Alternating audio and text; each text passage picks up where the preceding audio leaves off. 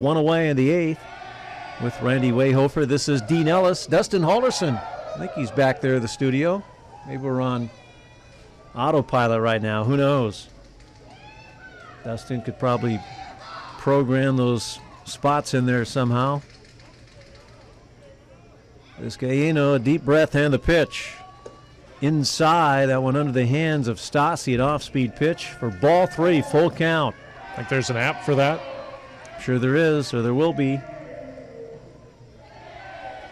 Green, three strong innings in long relief, four hits, no runs, walked three, struck out one.